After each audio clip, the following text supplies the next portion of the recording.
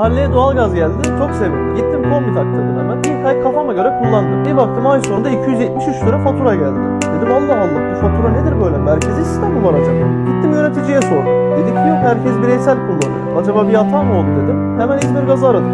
Fatura doğruymuş. O zaman dedim bende bir sorun var. Gece yatarken, sabah evden çıkarken hemen kapatmaya başladım. Sonra bir baktım azalmasını beklerken daha da fazlalaşmış. 360 küsür gelmiş bu sefer. Sonra arkadaşları falan aradım siz ne yapıyorsunuz diye. Meğerse açıp daha fazla yapıyormuş. Ben de kapatmadan bütün ay açık bıraktım. Hocam inanır mısın bir fatura geldi. 600 küsür lira. Dedim bu iş böyle olmayacak. Araştırdım, internetlere girdim, kombicileri tek tek gezdim. Dediler ki evi güzelce yalıtım yaptır, her odaya da termostat taktır. Ne dedilerse yaptım. Daha da arttı. 800 geldi.